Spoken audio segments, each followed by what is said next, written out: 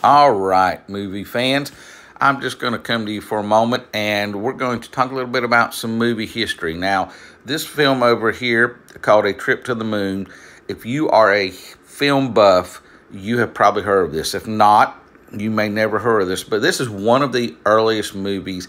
It is, as you can see down there, all the way from 1902, which is, uh, I'm filming this on the first day of 2023, so that means it has uh, just turned 100, or last year it was 120 years old. Extremely long time for a film. This shot up here is one of the most famous shots from this movie.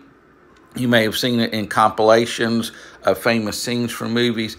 Uh, but I didn't know it's on HBO Max. I didn't know it was on HBO Max. I was just looking for some stuff to watch, and I came across it, and I was like, I've seen this shot, but I've never seen the movie. Now it is, as you can see, it's about 16 minutes long, so it's not long at all. And it is, um, this is the colorized version. Uh, you have to remember, again, it's an extremely old movie, so a lot of it had deteriorated over time, so they have preserved it the best they can.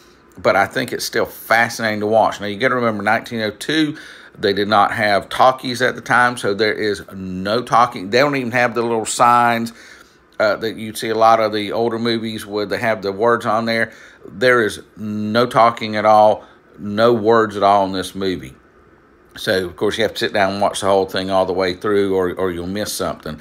But just what they were able to accomplish back in 1902 with what they had, this is just an amazing film. It is a part of film history. And I highly, highly recommend if you have not seen this, catch it especially if you enjoy movies. That's why you're watching my stuff. Catch it if you haven't. I don't know how long it'll be on HBO Max, but it's there currently, and I do highly recommend you get the time, give it a watch.